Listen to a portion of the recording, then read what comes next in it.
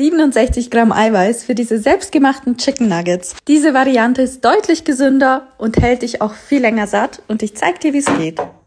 Wir geben 250 Gramm Hähnchenbrust in den Mixer. Ihr könnt aber auch Hähnchenhackfleisch kaufen und das würzen wir mit Salz, Pfeffer, Knoblauchgewürz, Paprikapulver, einem halben Teelöffel Senf. Gut durchmixen. Angefeuchteten Händen formen wir daraus jetzt unsere Nuggets.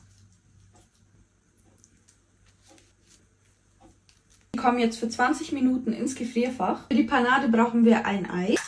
Das würze ich mit etwas Salz, etwas Pfeffer und Semmelbrösel. Ihr könnt aber auch zuckerfreie Cornflakes nehmen oder einfach nur Mehl. Die panieren wir jetzt. Sind sie ein bisschen fester und dann klappt es einfach besser. Erst in die Eimasse, dann in die Semmelbröselmasse. Ich bereite sie im Airfryer zu, deswegen lege ich sie auch gleich da rein. Da kommt noch ein Spritzer Ölspray drauf. 10 Minuten einmal wenden. Lasst es euch schmecken.